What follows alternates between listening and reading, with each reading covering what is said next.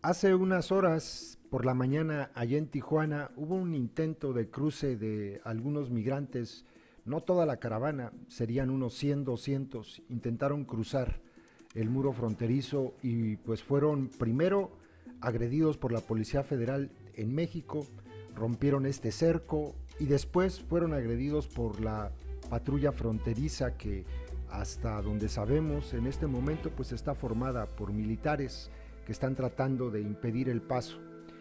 Hay varios videos que están circulando a través de las redes sociales. Así cruzaron migrantes hacia el puerto fronterizo en el Chaparral. Eh, se vivió mucha tensión.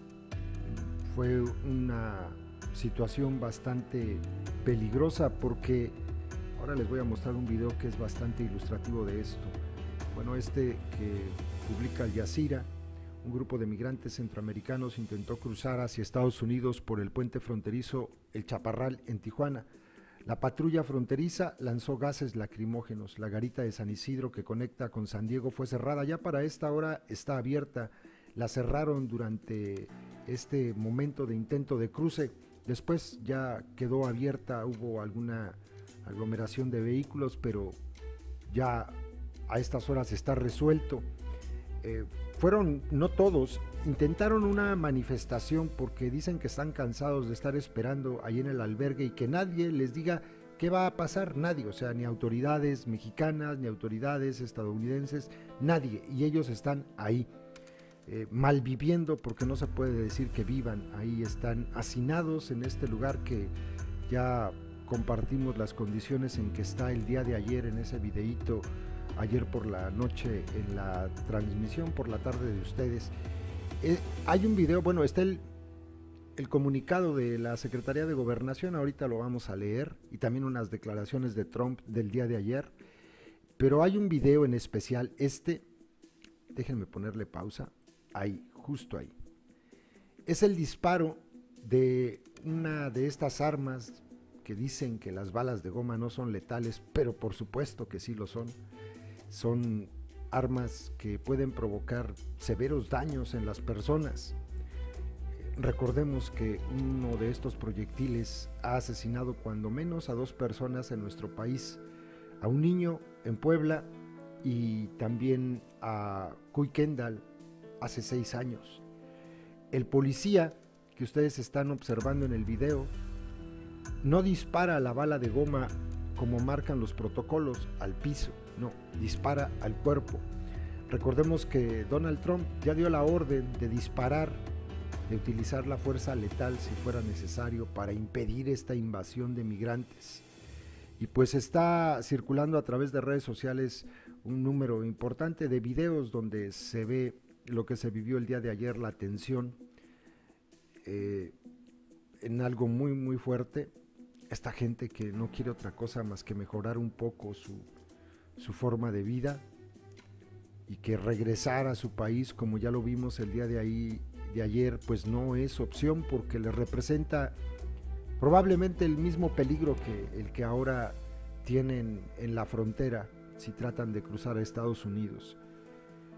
Migrantes de la caravana de centroamericanos rompieron un cerco policial con el afán de llegar a la garita El Chaparral en la frontera de Tijuana con San Isidro fueron desplegados por gases lacrimógenos de las autoridades estadounidenses. No solamente gases lacrimógenos, también utilizaron balas de goma. Empujones, enfrentamiento, así corrieron los migrantes debajo del puente fronterizo El Chaparral. Fueron, pues no sé, unos cientos, unos cientos de migrantes. No sabemos exactamente cuántos, ¿no? La patrulla fronteriza dispara gas lacrimógeno y balas de goma contra migrantes centroamericanos que trataron de cruzar la frontera entre Tijuana y San Diego. Estados Unidos ha cerrado los pasos del Chaparral y San Isidro, pero ya para esta hora están abiertos. Se suspendió el flujo de personas y autos por el puesto fronterizo de San Isidro, dice esta nota, pero después ya por acá hay otra donde se dice que que ya está abierto, ¿no? Esta de Aristegui cierra nuevamente Garita y luego por acá dice, ¿no? Estados Unidos reabre el paso peatonal por San Isidro, la garita más transitada de la frontera. tras el intento de cruzarla de un centenar de migrantes. El día de ayer, Donald Trump publicaba varios tweets. Este primero, que ya más o menos nos puede ir dando una idea de lo que nos espera. Les he dicho durante los últimos días, a raíz de que empezó todo este, eh, toda esta situación sobre los migrantes que están en nuestro país, que nos vamos a tener que ir acostumbrando, porque los migrantes, si no quieren regresar a su país, porque la situación les sea peligrosa, se van a quedar en México y nos vamos a tener que acostumbrar. Sería muy inteligente, dijo el delincuente Trump, si México tuviera, si México detuviera, sería muy inteligente. Es una amenaza implícita en eso, ¿no? Sería muy inteligente si México detuviera a las caravanas mucho antes de llegar a nuestra frontera sur. O sea, convertirnos en el muro o si los países de origen no las dejaran formarse y luego pues echándole más leña al fuego, ¿no? Porque así es Donald Trump. Pero pues si Donald Trump dice algo, la gran parte de lo que dice sabemos que es mentira. Es una forma de sacar a ciertas personas de su país y volcarlas en Estados Unidos por más tiempo. Y luego remató diciendo, los demócratas crearon este problema. No más cruces. Sí, las teorías de la conspiración que siguen alimentando a los menos aptos, a los descerebrados. Más tweets, ¿no?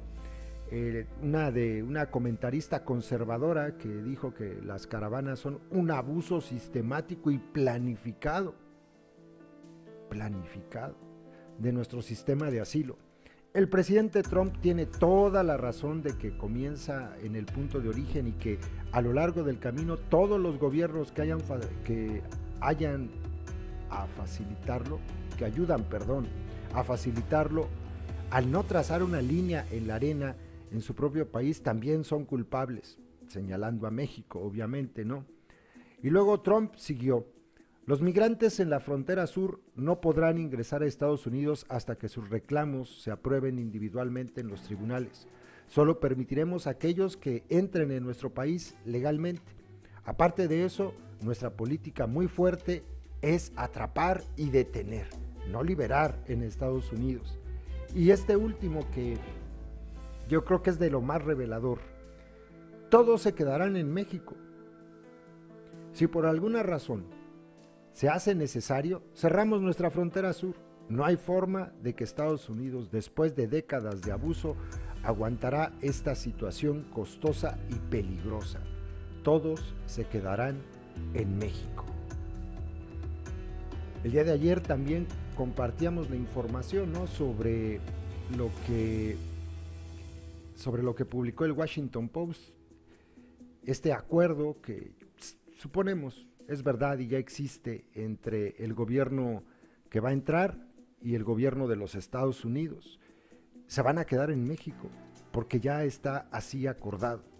A cambio, Estados Unidos va a dar dinero para desarrollar eh, trabajos para ellos en el sur de nuestro país y en los países de origen de estas personas, Honduras, El Salvador, Guatemala, eh, Nicaragua. Eso es lo que va a pasar. Y pues decía, vamos a tener que aguantarnos y vamos a tener que aprender a vivir con eso porque nuestros gobiernos agachones, y el que entra igual lo va a hacer, se va a convertir en el policía del mundo. Eh, perdón, en el policía de Estados Unidos, no del mundo. Se va a convertir en el agente de inmigración, se va a convertir en la Border Patrol. Eso va a ser nuestro país. El muro y la Border Patrol. Miren, este comunicado de gobernación pues explica exactamente qué es lo que va a pasar. Y, ustedes noten cómo en el propio comunicado ya se va asumiendo cuál es la función del gobierno, del gobierno agachón de nuestro país. La Secretaría, fíjense, el Instituto Nacional de Migración deportará inmediatamente a centroamericanos plenamente identificados que intentaron ingresar legalmente a Estados Unidos, la patrulla fronteriza de nuestro país, ¿no? La Secretaría de Gobernación informa que, en coordinación con autoridades locales del estado de Baja California, logró contener al grupo de casi 500 migrantes que de manera violenta intentaron cruzar la frontera de México con Estados Unidos en el paso fronterizo de El Chaparral, Tijuana. Esta dependencia reitera que a través del Instituto Nacional de Migración se procederá a deportar inmediatamente a las personas plenamente identificadas que participaron en estos hechos violentos. Asimismo señala que dichos actos de provocación, lejos de ayudar a sus objetivos, atentan contra el marco legal migratorio y pueden resultar en un grave incidente en la línea fronteriza. Respecto a la reacción de las autoridades norteamericanas para rechazar el ingreso de los centroamericanos a su territorio, esta, esta dependencia afirma que no se reportan heridos por arma de fuego. O sea, fíjense lo que redactaron. Respecto a la reacción de las autoridades norteamericanas, no, no señalan, no señala el gobierno de México que es una reacción agresiva, que es algo que no puede ocurrir porque nuestro gobierno hace lo mismo. Nada más dice que ni se preocupen, que al fin les dieron con balas de goma y gases lacrimógenos. Entonces, pues no hay heridos, no hay nada que lamentar. La actuación de la patrulla fronteriza de Estados Unidos está bien. A través de la Secretaría de Gobernación, el gobierno de México informa que Pese a la magnitud de esta situación y conforme a su política interna de respeto a los derechos humanos y a la no criminalización de la migración, nuestro país no desplegará fuerzas militares para enfrentar este problema. No obstante, reforzará los puntos fronterizos donde las personas irrumpieron en su intento por ingresar ilegalmente a los Estados Unidos. Ya, de hecho, en la reapertura del de la frontera del pase para Estados Unidos ya hay más policía federal de la que había antes de que ocurriera el intento de cruce. Esta Secretaría mantendrá de forma permanente la comunicación y plena coordinación con las autoridades de los tres niveles de gobierno de México, así como con el gobierno de los Estados Unidos. Al día de hoy, el número de personas que conforman la llamada caravana migrante es de 8.247 de estas, 7.417 se encuentran en el estado de Baja California, ubicadas en los municipios de Mexicali y Tijuana. Asimismo, se informa que de los 830 centroamericanos adicionales, 424 se encuentran ubicados en el albergue Tláhuac en la Ciudad de México, 253 transitan por el estado de Sinaloa hacia Sonora y 153 se trasladan por sus propios medios a la frontera norte del país. En este contexto, cerca de 2.000 centroamericanos que integraban las distintas caravanas han obtenido el apoyo del Instituto Nacional de Migración para retorno voluntario asistido. El gobierno de México reitera su exhorto a los extranjeros en su tránsito, en tránsito para que se acojan a los beneficios de regularizar su situación migratoria y acceder a los beneficios que ofrece el Estado como trabajo formal, acceso a servicios de salud y educación pública, entre otros. Esto es lo que dice el gobierno de México, agachón, sumiso, convirtiéndose en la patrulla fronteriza y el muro, y poniéndonos de muro a nosotros de Estados Unidos. Hizo falta que Donald Trump pusiera tres o cuatro tweets y que se publicara en un medio internacional, el Washington Post, para entender que esta gente, si no quiere regresar a su país, se va a quedar en el nuestro y que de los 8 mil aproximadamente que hay en este momento, pues una gran mayoría se va a quedar. Así es que nos vamos a ir acostumbrando.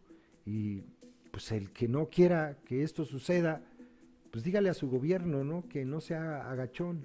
Eso, que, le expliquen al próximo gobierno, al que, al que está ya le quedan cuatro días, no cinco días, es lo de menos. Al próximo gobierno díganle que no tenemos por qué servirle de patrulla a Estados Unidos, ni de muro, que si la intención de estas personas es llegar a Estados Unidos, que se las arreglen como puedan, que la obligación de México pues es velar por su seguridad hasta la frontera y de ahí en adelante que se hagan bolas ellos, así lleguen 100 mil, porque no es nuestro problema. Los que se quieran quedar, aunque no le guste a muchos, pues que sean bienvenidos. Y aunque no le guste a muchos, aunque sigan insistiendo que hay tantos pobres en nuestro país, pues el problema lo generó Estados Unidos. También reclámenle a ellos. Ellos son los que provocaron todo esto, esta política intervencionista, eh, el golpe de Estado que nos platicaba ayer la compañera Johanna, mm, a Manuel Zelaya, y allí está el caldo de cultivo perfecto para que se den este tipo de manifestaciones de desesperación, porque solamente estando muy desesperado puedes decidir migrar. Y déjense de la teoría de la conspiración absurda que traen en la cabeza, porque si una persona viviera bien en Honduras, bien, pues este pendejo va y se arriesga a cruzar hacia Estados Unidos por un país como el nuestro, que es una tumba, es una fosa clandestina enorme, de tontos. Debe ser mucha su desesperación.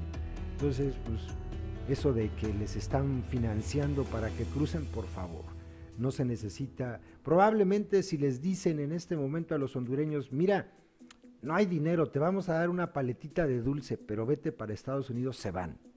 Todos. Con una paletita de dulce. Y una paletita de dulce no compra a nadie. El problema es que si se quedan en su país, pues es a malvivir, a exponerse a la violencia, San Pedro Sula, Tegucigalpa, eh, las miles de pandillas, los asesinatos todos los días, las tasas de homicidio más altas del mundo, la pobreza, y, se quedan allá. Eh, si se quedan allá los matan. Entonces no necesitan estar financiados por nadie. Así como no se necesita que se financie a ningún mexicano para cruzar Estados Unidos. A ninguno es más. No los financia nadie. A, a los mexicanos que se van a Estados Unidos. Pagan por irse. Si me explico, pagan.